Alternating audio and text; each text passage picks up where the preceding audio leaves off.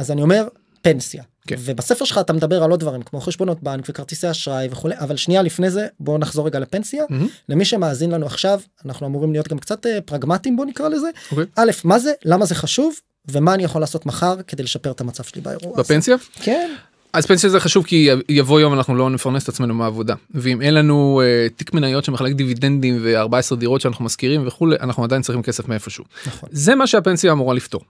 אה, בשביל שלא תהיה ירידה משמעותית ברמת החיים כי עלולה להיות שם ירידה בכל מקרה. בשביל שלא תהיה יותר מדי גדולה אה, אנחנו צריכים לעשות כל מיני דברים בשביל להבטיח שאנחנו עשינו את כל מה שבשליטתנו כי יש דברים שהם לא בשביל למקסם את הפנסיה שלנו. הראשון והכי הכי הכי חשוב להתחיל לחסוך כמה שיותר מוקדם. אם היה אפשר להתחיל לחסוך לפנסיה בגיל 0 זה הגיל שמומלץ להתחיל לחסוך בו. זה נשמע ביזאר אבל בגלל הריבית דריבית בגלל שלכסף יש פשוט המון זמן לעשות כסף מעצמו זה הכוח הכי חזק בטבע זה זמן, ואינרציה זמן. כן, בדיוק אה, אז להתחיל לחסוך הכי מוקדם שאפשר אם אפשר בגיל 0 אז בגיל 18 או 19 או 20 או מהמם. כשמשתחררים מצה"ל אני לא יודע מה כאילו באמת אני התחלתי בגיל 27 זה קצת מאוחר מדי. עדיף לפני. אולי נראה אה, כן. אה, אז להתחיל לחסוך מוקדם הדבר שני לחסוך את המקסימום. יש המון אנשים כמו שאמרת אני לא מאמין שתהיה פנסיה אין, אין מערכת טובה מזו היא לא מושלמת אבל אין מערכת טובה מזו. למה בגלל הטבות המס בגלל הטבות המס וגם בגלל הריבית דריבית בגלל שזה חיסכון לטווח ארוך. אבל אם אני אה, מפקיד לחיסכון ארוך טווח מהצד למשל אבל אתה לא תקבל הטבות מס אני לא אקבל הטבות מס מה עם הטבות המס. רק תזכיר אה, למי ש... יש כל מיני יש איזה שלושה סוגים give or take זה מסתכם ב-30 אחוז זה המון. זה המון. זה מיליון. שקל זה המון. זה המון. תעשו את המתמטיקה. אה, אז להתחיל לחסוך מוקדם לחסוך את המקסימום אפשר להעלות איזה העובדים יש להם שפיל של אחוז שהם יכולים לעלות. להתמקח על דמי הניהול כמה שאפשר להוריד אותם לאפס כמה הכי קרוב לאפס שאפשר היא באמת, לא באמת אפשר להגיע לאפס צריך לשלם משהו אבל הכי קרוב לאפס שאפשר כי כל פרומיל של אחוז משפיע מאוד מאוד שוב בגלל שזה חיסכון לטווח ארוך אתה יכול לתת איזה benchmark לדמי ניהול? כן, בטח. צבירה, הפקדה וגם כן. להסביר שנייה מה ההבדלים?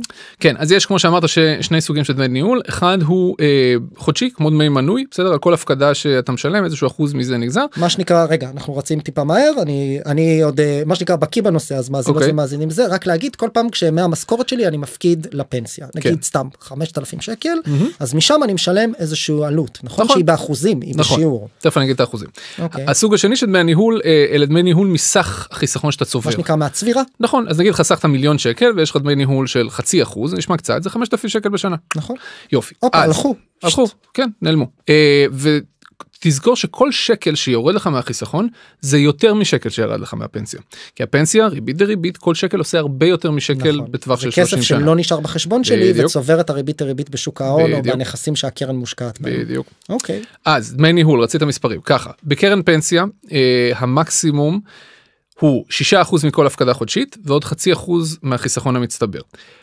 היום יש פחות אנשים שמשלמים את המקסימום וטוב שכך עדיין יש בעיקר במעבר בין עבודות אה, קרנות הפנסיה פשוט מקפיצות את זה זורקות אותך למקסימום. כן. שולחות לך מכתב אם פתחת פתחת ראית אם לא זה בשך אה, אז צריך לשים לזה לב. אה, דמי הניהול הממוצעים היום הפעם האחרונה שאני בדקתי זה 2% מכל הפקדה חודשית ועוד רבע אחוז או אפילו אה, 0.2 אה, אחוז מהחיסכון המצטבר אפשר משמעותית פחות מזה.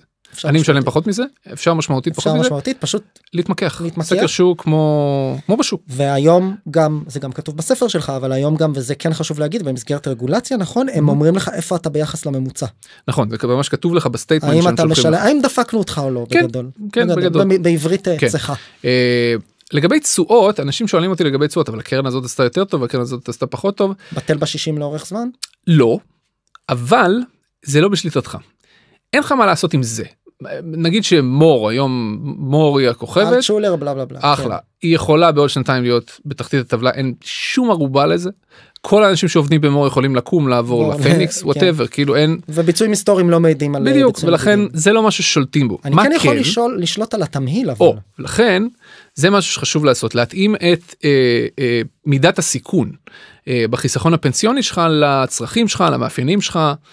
אני למשל כל הפנסיה שלי חוץ מהחלק הזה שמבוטח על ידי הממשלה במניות גם שלי כי יש לי עוד 25 שנה מה שנקרא תיק או קרן מנייתית וזה אגב אבל בפנסיה, לה... אבל כן, וזה בפנסיה. חשוב להגיד פה למאזינות ולמאזינים אם אתם לא מבקשים את זה אקטיבית אני נגיד לאיזושהי תקופה גיליתי שהכל היה באג"ח אה, ממשלתי. לא הכל אבל יש לך אתה במסלול אה, כן, גנרי כזה כזה. כן. גנרי של כזה מקסימום תשואה של x אחוז בשנה כשאתה מעלה את זה למנייתי כשהשוק עולה ורוב הזמן הוא עולה התשואה גדלה. צריך לשים לב שבשנים כמו השנה הזאת אנחנו חוטפים שם ממש. הפסדים מטורפים. ממש. אני לא נוגע, אני אישית לא נוגע, יש לי 25 שנה קדימה. ואני בן 42, בן אדם שצעיר ממני בחצי, יש 40 שנה קדימה. לא נוגע, לא כי נוגע, לאורך לא נוגע. זמן זה מתאזן ולהפך אם היית בירידה תן לזה לעלות כי אחרת אתה מפסיד גם את העלייה. נכון אתה מקבע את ההפסדים. אה, אלה הדברים הכי חשובים שאני יכול לחשוב עליהם בחיסכון פנסיוני. אה, לא נראה שאני נצלול פה לכל מיני הבד- הבדלים מה ביטוחי בין קופת מנהלים. גמל. לביטוחי מנהלים וכולי וכולי אם אז אתה נורא רוצה אפשר אבל זה נראה לי נתיב ללכת. נראה לי שזה מי שרוצה יכול להעמיק בספר בוא יאללה. נעשה את זה ככה הנה סגרנו.